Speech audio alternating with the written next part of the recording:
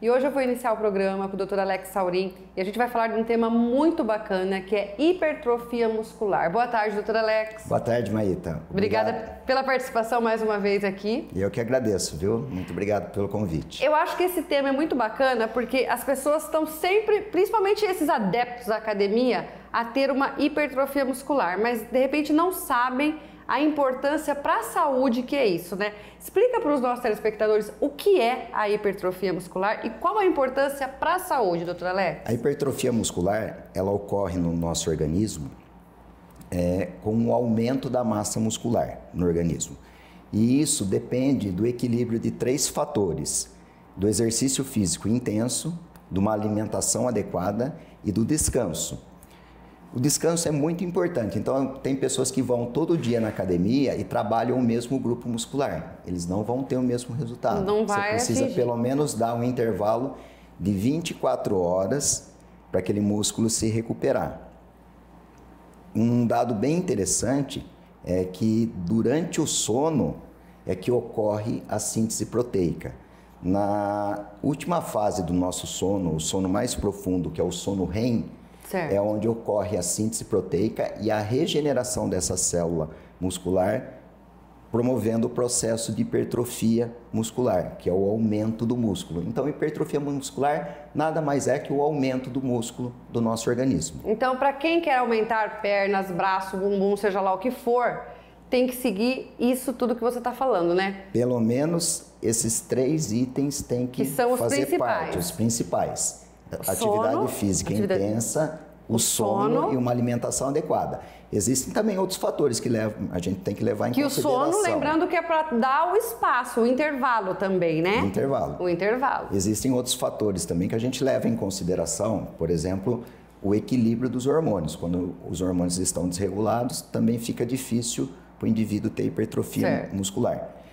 E o importante também, Maíta, é que hoje o músculo é considerado um órgão neuroendócrino imunológico. Ele está intimamente relacionado com a nossa imunidade.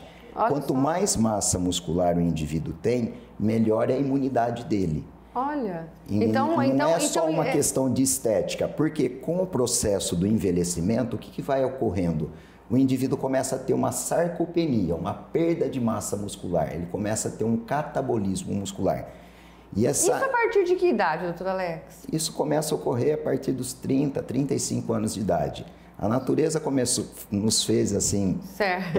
para a gente ter o organismo equilibrado até os 30, 35 anos de idade. A partir daí já começa a ocorrer um certo Aí tem que buscar o equilíbrio, né? Buscar o certo equilíbrio. Por isso que é muito importante que, independente da idade, o, a pessoa faça uma atividade física. O exercício físico é muito, Muito importante. importante. O exercício físico ele pode contribuir para aumentar a sua longevidade em até dois anos. Existem estudos científicos mostrando Sim. que indivíduos que não são sedentários e que praticam atividade física e mostram um aumento na longevidade em dois anos.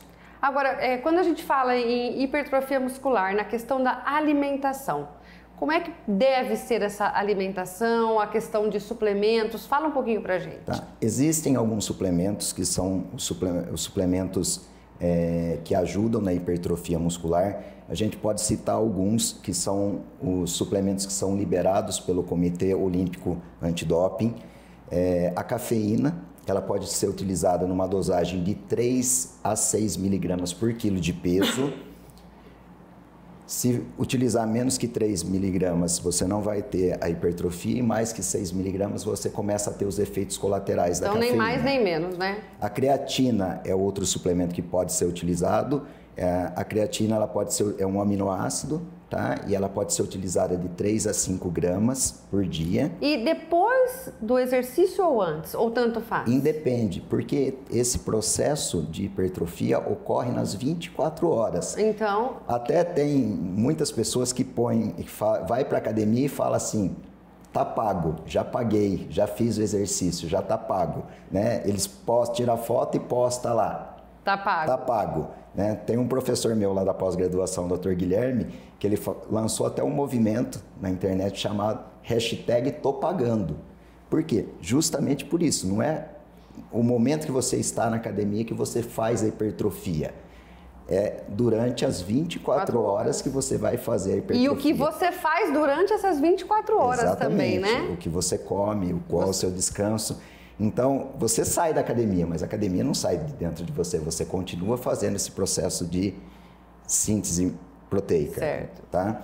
E voltando a falar dos alimentos, dos suplementos, tá? Nós temos também a betalanina, que ela ajuda bastante tanto na recuperação muscular e temos também o bicarbonato de sódio, mas o bicarbonato de sódio a gente deixa mais para atletas de alta performance, porque certo. pode dar às vezes um desconforto gástrico, diarreia.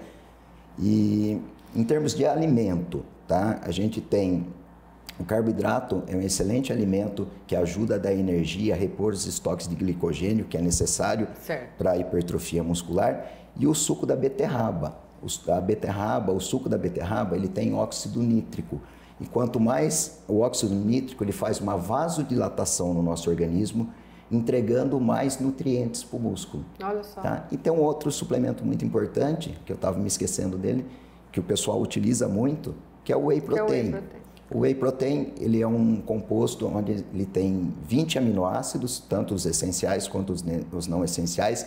É uma proteína de alto valor biológico e ela vai ajudar nesse reparo da fibra muscular. Porque quando você expõe o músculo a um, um estresse, uma, uma, carga, sobrecarga uma maior do que ele pode é, suportar, ocorre a lesão. E é esse, esse reparo, quando ocorre esse reparo, que Olha, aumenta o músculo. Por isso é todo um processo, né? Agora, doutor Alex, a pessoa que quer ganhar uma hipertrofia muscular, mas quer através só da alimentação, sem suplemento, isso é possível? Não, não ela não né? vai conseguir. Ela não consegue só através da alimentação, ela não consegue só através do exercício físico, tá? Precisa ter um equilíbrio de vários fatores. vários fatores. Não adianta a pessoa ir para academia, treinar, treinar, treinar e sair, vai na sexta-feira, treina, depois vai para balada e enche a cara de bebida alcoólica. Não vai ter resultado nenhum, tá? Então é muito importante ter esse equilíbrio, tá? A atividade física intensa, a alimentação horas, adequada e o descanso. O descanso. Tá? O descanso é, é fundamental. É, o sono e o descanso do, do tempo do exercício. Do né? exercício. Não, você não deve trabalhar o mesmo grupo muscular todo dia. Todo dia. Bom, mais uma vez, obrigada pela sua participação. Ficou alguma coisa? Você quer falar mais alguma coisa? Deixar algum recado? Ou a gente conseguiu concluir? Fica à vontade. Ah, eu gostaria de, de dizer para todos os telespectadores que estão nos ouvindo que é muito importante que além dessas informações que eu estou te passando aqui, eles estão ouvindo, que eles não façam nada por conta própria, que Sim. sempre procure ajuda de um médico, de um profissional adequado na área da saúde para estar tá orientando tanto na parte da alimentação quanto na parte da suplementação. Com certeza, né? isso é muito importante. Isso é, é de extrema importância. De extrema importância. E eu vou ficar um tempinho sem aparecer aqui pelo seu programa. Pois é, pois é, eu não estava esquecendo. Doutor Alex, você vai para o Canadá fazer um curso, é isso? Isso, vou ficar no Canadá dois meses me especializando tá? Mas é assim que eu vou Em medicina gente, preventiva? Na área da medicina preventiva. Então, você vai ficar o quê? Uns dois, três meses fora, né? Mais ou menos isso. E assim que ele voltar, né? Eu espero você aqui para contar todas as novidades que tem por aí para que as pessoas vivam mais e melhor, que é isso que todo mundo quer, não é? Muito obrigado, Maíra. Mais uma vez, obrigada, boa viagem e sucesso, ok?